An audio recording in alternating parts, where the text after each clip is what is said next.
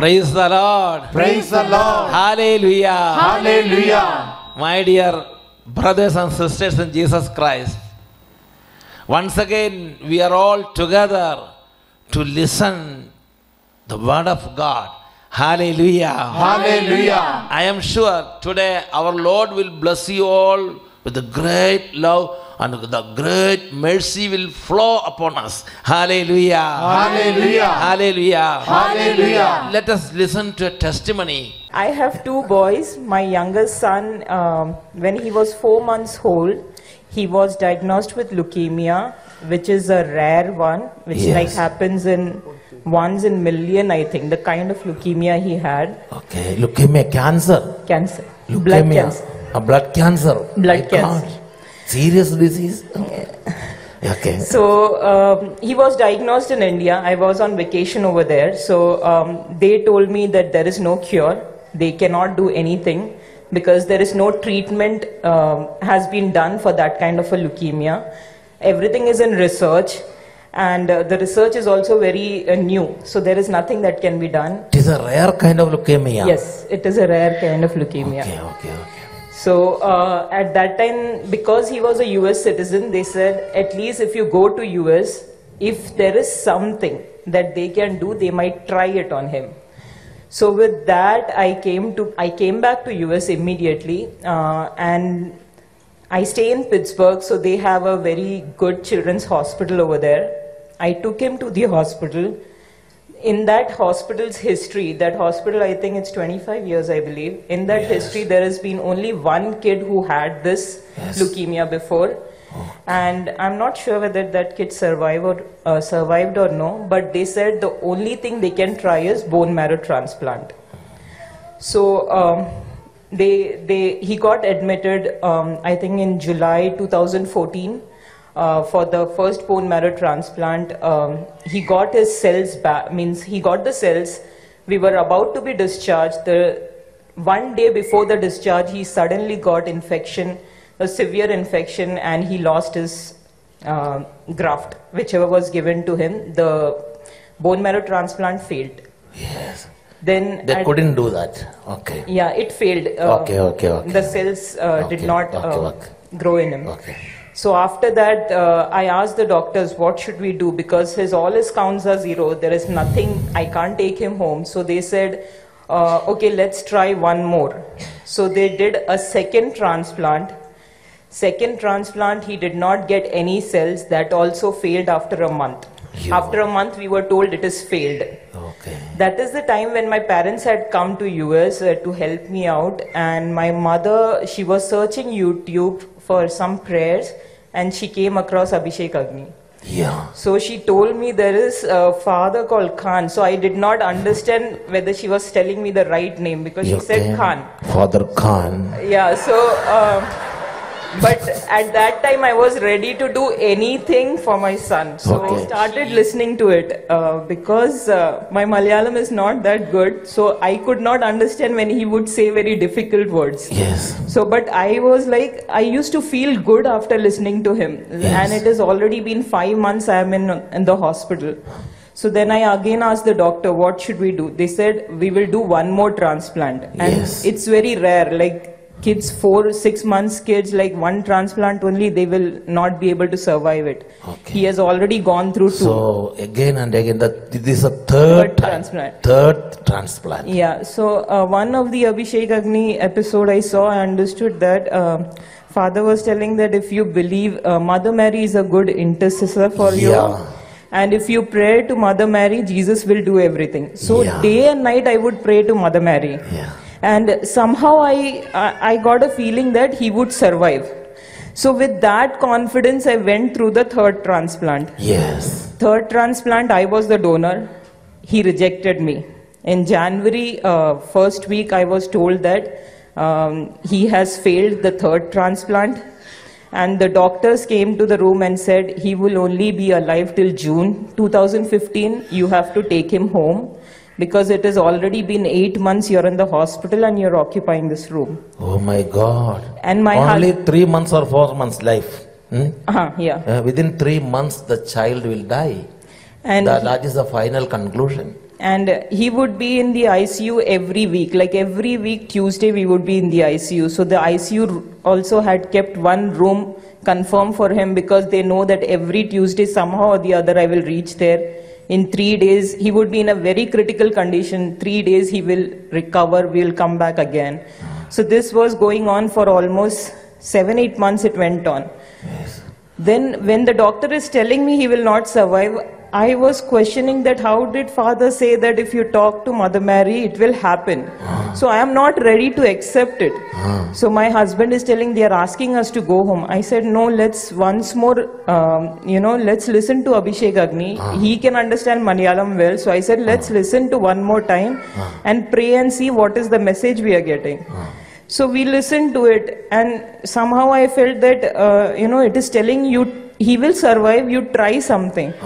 So I went to the doctors and I said, I want to try one more transplant. They told me it is not there in the history, you cannot try it. So I told them that if you're telling me he is going to die in four months, I don't have the courage to see every day him dying. So you do something, I told them. Um, God.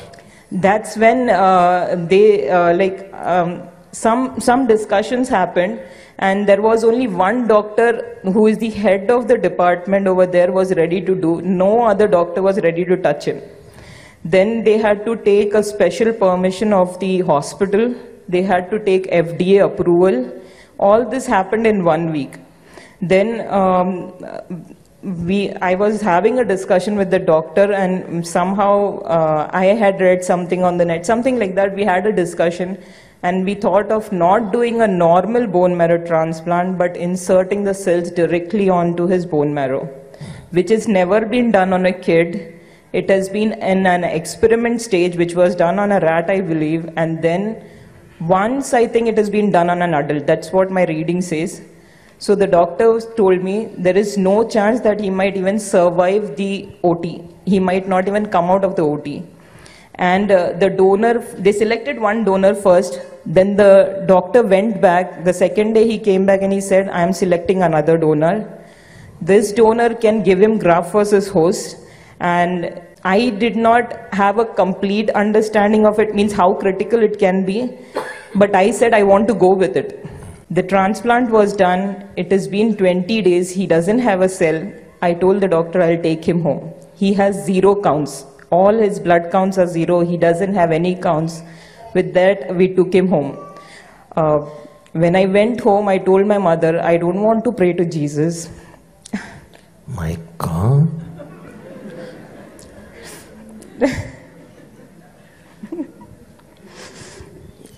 yes. See, So they were very upset. So upset. He, she was.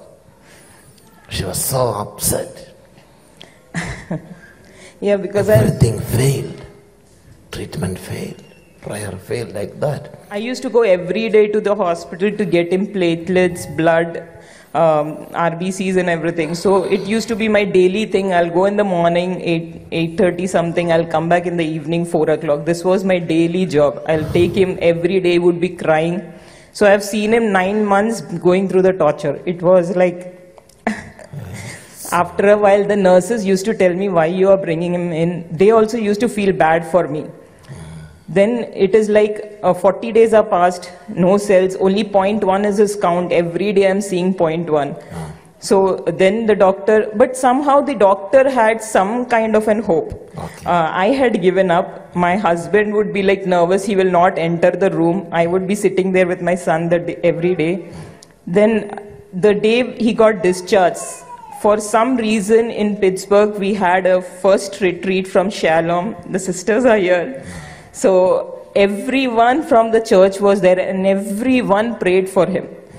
So that was a very different feeling for me because everyone is believing something would happen and I'm the only person who is believing nothing will happen.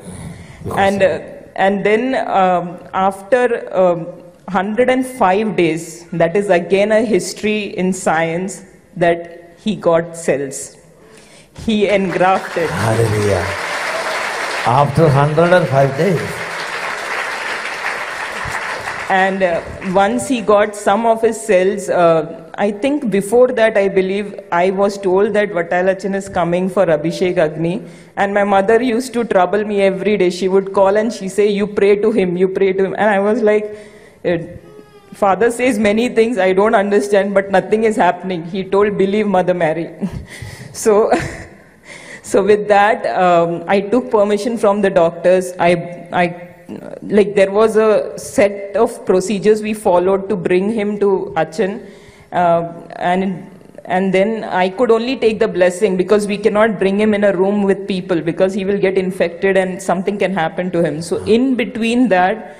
I think uh, it was only five or ten minutes, not even fi- five minutes, I think. Achan prayed over him. He looked at me and he told me he needs some more prayer. Go to uh, Joe's brother. I don't Tanjam know. brother. Tanjam brother. Yeah, I don't know if he remembers Okay. me. Said- So I went to him. Uh, he looked at me. He prayed. He gave me advices. And then he said, So uh, then the retreat was Abhishek Agni? in, uh, yeah, in Cleveland. I okay, don't know uh, which. Cleveland, okay. okay. Abhishek Agni? Okay, okay. Arre, Father? Agni. Father and I, Achan I was there, Ah. then it was Abhishek Agni. Okay. You only blessed me. You only told me to go to him. okay. And I, he- if I and Tanjam brother was there, it is definite Abhishek Agni. okay, okay. Then he told me in one year he will get the cells. Uh, Ah. He will completely be okay. You should come back and you should say the Saksham. Ah. It's three and a half years now. No problem. See. My God. It's great. Yeah, he, he still doesn't have immune cells, but he still goes to school. He doesn't have infection. Daily going to school. that boy. Hallelujah. Hallelujah. See, simply five minutes blessing, and afterwards, Tanjan brother gave a spiritual counseling. So many don't know what is spiritual counseling, spiritual sharing. Hallelujah. Hallelujah. So when we go to spiritual sharing, the Holy Spirit is working there. Miracles will happen. Such is a great miracle. Yeah, and the doctor. can't believe. The doctor says he's a miracle child, and the doctor himself says Okay. that there are things that are not possible to man and it is possible to God. Yes, that is that is what happened. Mother Mary prayed for you. Praise the Lord. Believe in the intercession of Blessed Virgin Mary.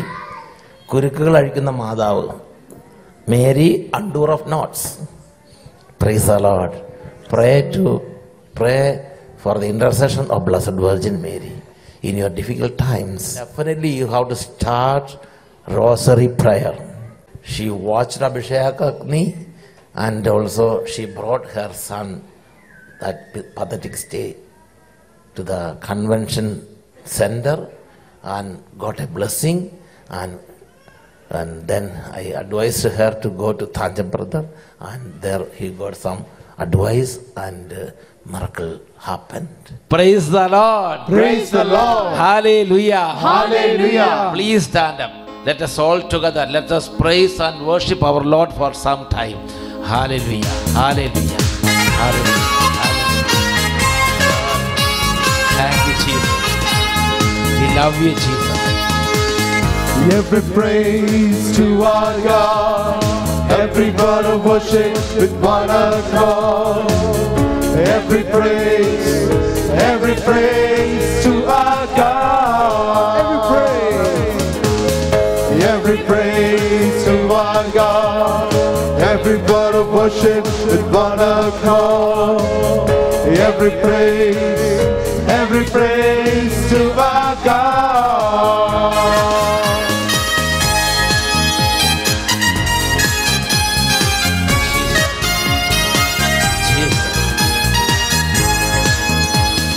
Sing hallelujah to our God.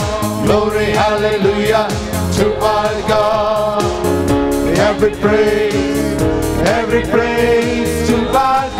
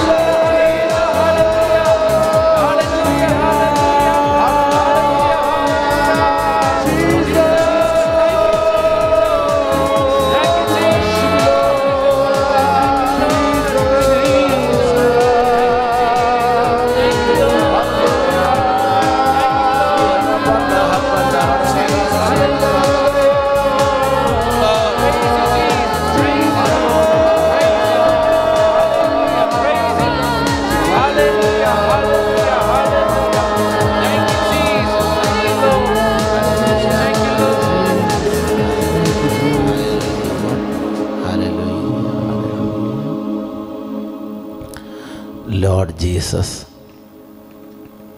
we surrender ourselves into your hands. Teach us, O Lord. Enlighten our minds. Instruct our ways.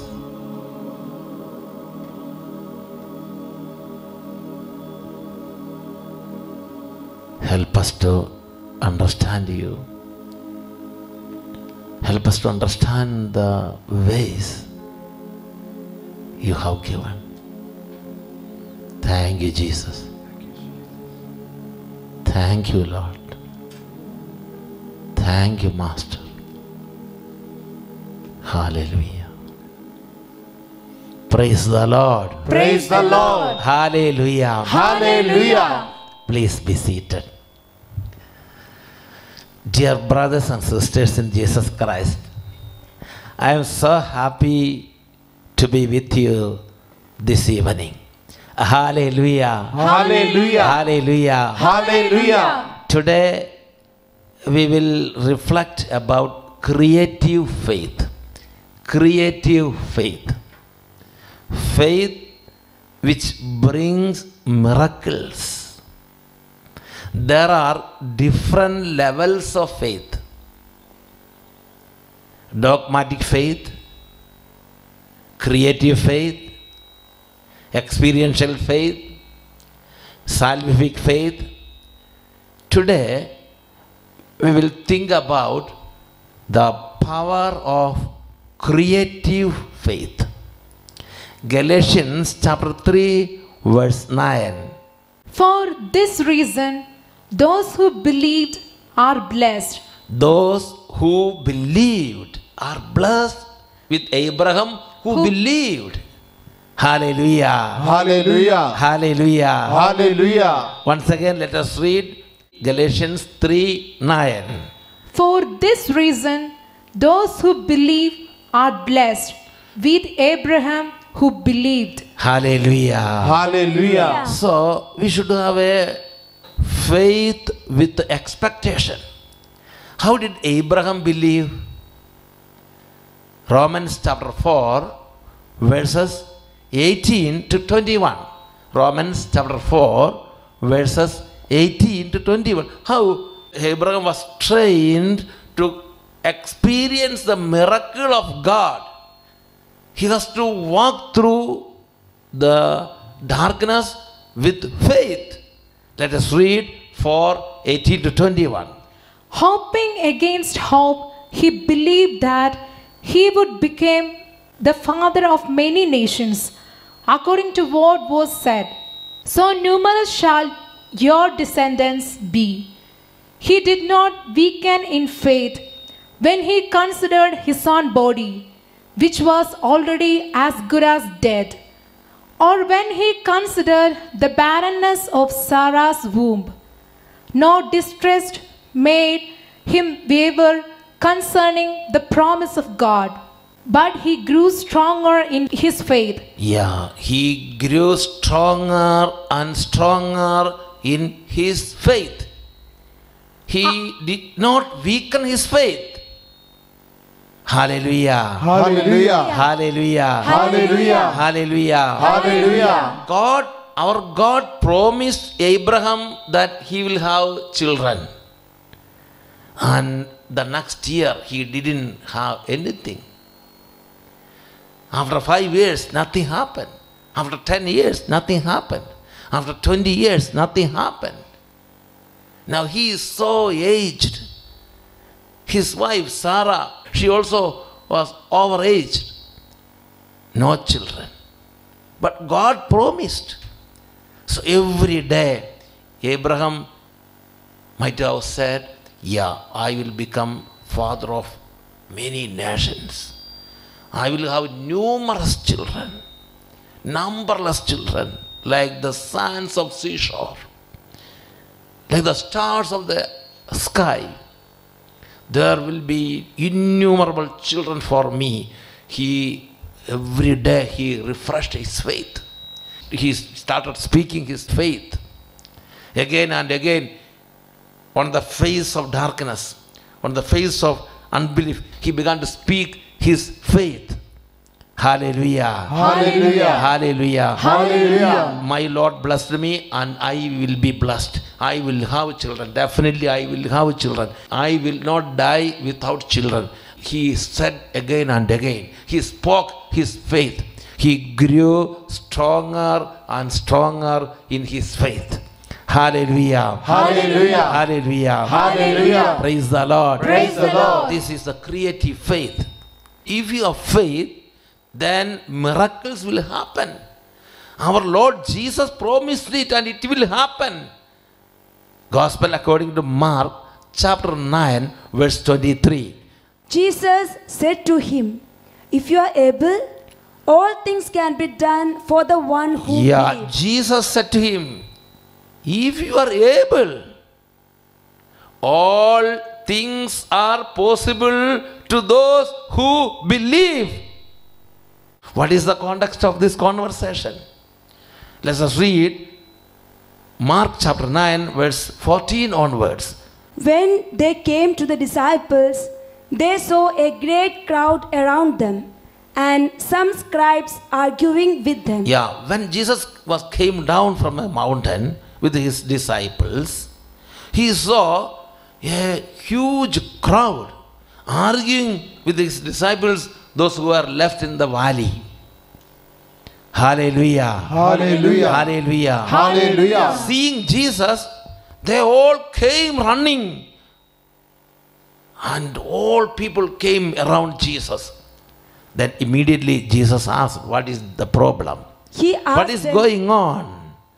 Then they replied. One among the crowd cried out, Master, I brought my son to your disciples, and they couldn't heal him.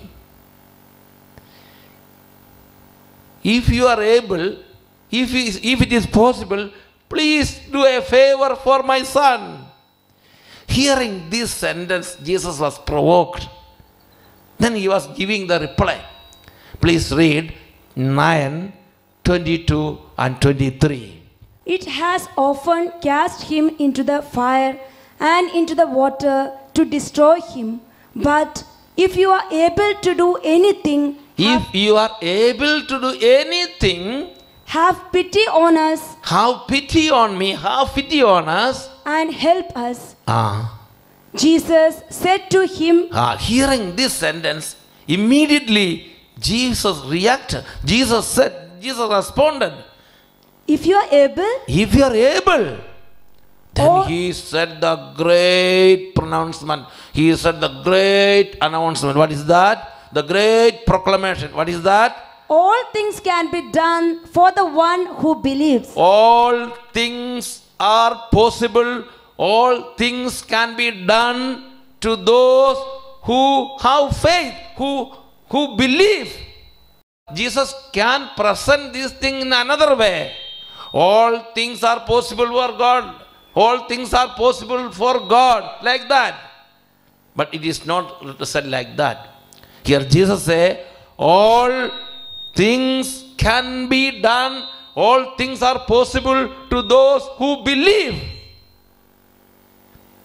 Say loudly, Hallelujah. Hallelujah. Hallelujah. Hallelujah. Hallelujah. Hallelujah. Again, in Mark chapter 11, verse 24, when you pray, pray with the power of creative faith.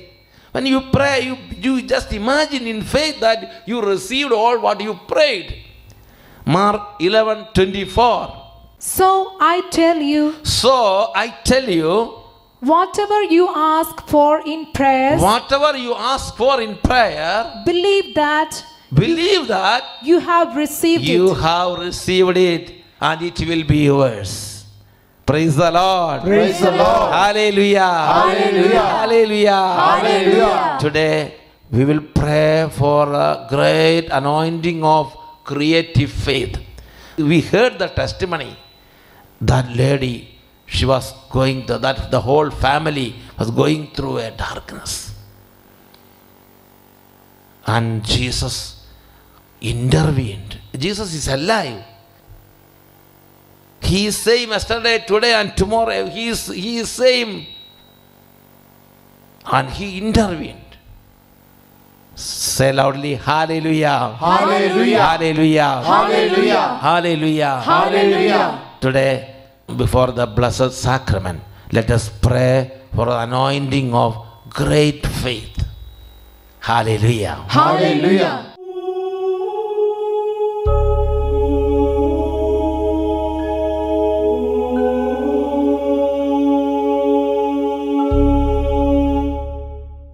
Praise the Lord. Praise the Lord. Hallelujah. Hallelujah. Let us sing a song of praise to our Lord Jesus Christ.